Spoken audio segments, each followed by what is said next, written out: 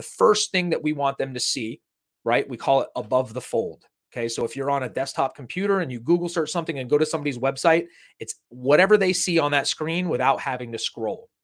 So a lot of this is common sense. You want to make sure you, one, have a good professional looking logo. You know, that's that's a good first impression. Um, we like to have the services listed above the fold, right? Water, fire, mold, smoke, whatever the case may be. We want a clickable phone number right there on the top right, big pronounced, so they know that they can get in touch with a 24 7 call. We want a USP. We want a unique selling proposition, right? Do you offer 24 7 service? Um, do you have licensed and bonded, um, um, you know, technicians, you know, whatever the case may be, whatever USP, whatever makes you better and makes you the right choice. You want that right in front of their face.